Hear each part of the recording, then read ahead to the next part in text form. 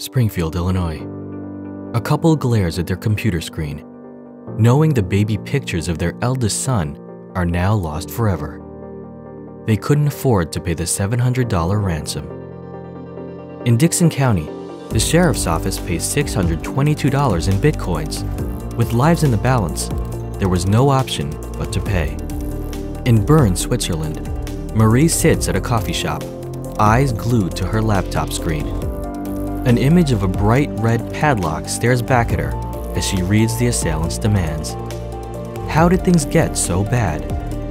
Let's take a step back and see how it all started. Malware has been around since the dawn of the internet, and in short, is software created for malicious purposes.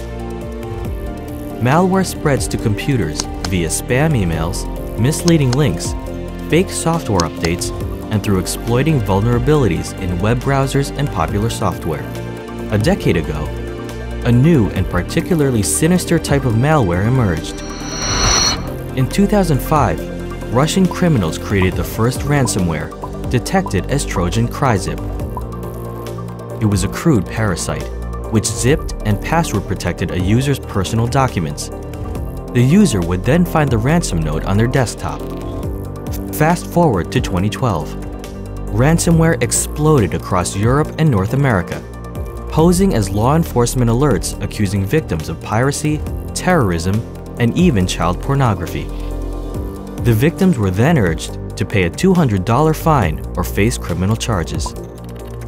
In 2013, ransomware makers were already extracting more than $3 million per year from their victims.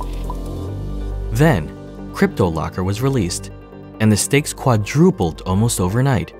CryptoLocker represented a totally new family of malware, which encrypts a user's photos, documents, and other personal files with a uniquely customized secret key. These files could only be restored by paying a ransom to obtain the secret key. On January 10, 2015, the FBI made an official statement that ransomware was on the rise, emphasizing that a new ransomware variant, CryptoWall, was encrypting users' files and charging anywhere from 200 to $5,000 in bitcoins to restore them. The FBI did not provide any viable solutions for decryption. In 2016, more than $15 million has already been extorted from users. A vicious parasitic cycle has begun.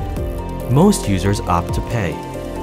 Every time a victim pays the ransom, the malware creator receives the funds.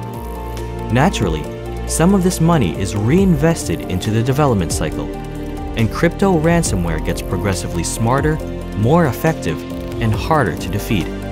And thus, the cycle continues. So what should you do?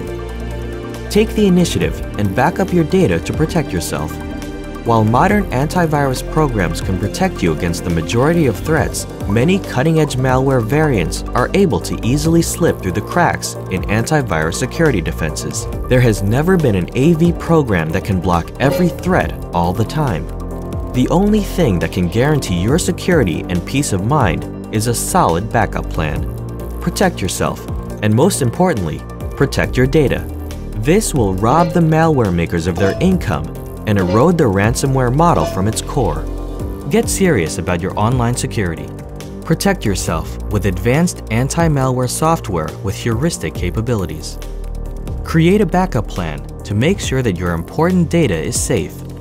Store a backup of your most critical data offline or with a secured cloud backup service. Make sure your operating system and applications are up to date.